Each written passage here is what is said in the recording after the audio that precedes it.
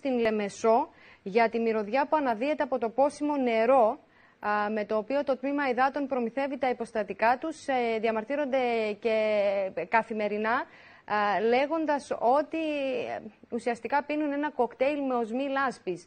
Έχει επηρεάσει αυτή η ανομβρία και το πόσιμο νερό; Τι μπορούμε να πούμε; Ε, καταρχήν να πω καλό μεσημέρι σε εσάς και στους ακροατές και να ξεκινήσω από το πρώτο ερώτημα σας που ήταν για τα αποθέματα και την ανοβρία. Δυστυχώς με τις ε, τελευταίες, τους τελευταίους μήνες, δηλαδή από τον Οκτώβριο μέχρι σήμερα, οι προχωρήσεις ήταν και οι, ε, οι ζωές στα φάρματα πολύ χαμηλές. Ε, έχουμε πάρει μέχρι σήμερα μόνο γύρω σε 450.000 κυβικά μέτρα, ενώ η περσινή η ποσότητα στα φάρματα ήταν γύρω στο 1,5 εκατομμύριο. Και έτσι ε, μαζί με την α, συνολική εισρωή της περσινής χρονιάς που ήταν μόνο 17,9 εκατομμύρια και ήταν, είναι η τρίτη χειρότερη εισρωή που είχαμε ποτέ. Ε, φτάσαμε σήμερα, θα έχουμε στα φράγματα μας μόνο 19% ποιότητα με 55,5 εκατομμύρια κυβικά.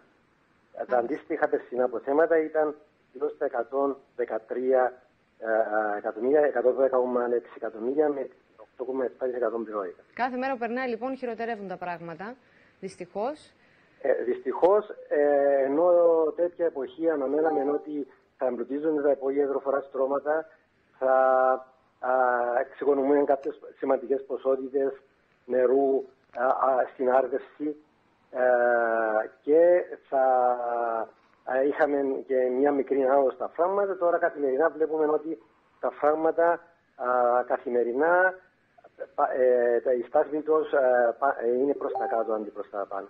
Τι γίνεται λοιπόν τώρα με το πόσιμο νερό; σίγουρα αυτή, αυτή η κατάσταση ε, επηρεάζει και λίγο τα φράγματα διότι τώρα όσο χαμηλώνει η στάθμη οι ποσότητες που αντλούμε από, από τα φράγματα είναι από τις χαμηλότερα επίπεδα του φράγματος.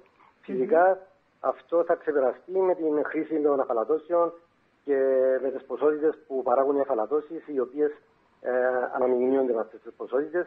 Προσπαθούμε ε, βασικά με εξαρισμό το, του νερού με, στα φράγματα να εκλείψει αυτή ε, αυτή Άρα οξυγονώνεται το νερό και το αναμειγνύεται με αυτό της αφαλάτωσης, ώστε να δίνετε το καλύτερο αποτέλεσμα στον κόσμο. Σίγουρα παρακολουθούμε καθημερινά την ποιότητα του νερού και δεν πρέπει να ανησυχούν, διότι η ποιότητα παρακολουθείται καθημερινά. Τι μπορούν να κάνουν όμως για αυτή την οσμή, Υπάρχει κάποια άλλη λύση ή θα πρέπει απλώς να κάνουν υπομονή μέχρι να δούμε τι θα γίνει με αυτή την κατάσταση; Ε, πρέπει να κάνουν υπομονή, πιστεύω, και θα διορθωθεί το πρόβλημα.